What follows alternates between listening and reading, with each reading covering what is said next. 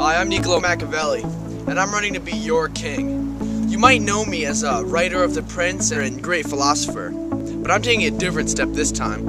I'm gonna rule your kingdom.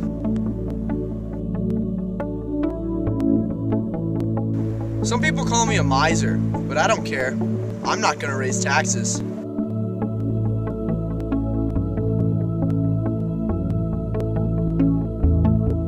My philosophy is I worry about things that I can control. I try to be the fox and the lion. That way I can recognize traps and fight off the wolves. Something I'd never do to get my way is lie. Or would I? You know, fortune only rules for about half our actions. The other half, they're governed by us.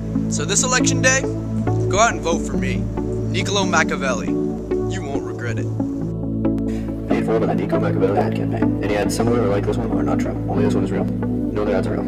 So listen to this one. Over Nick Machiavelli for a King. Election day. It'll be worth it.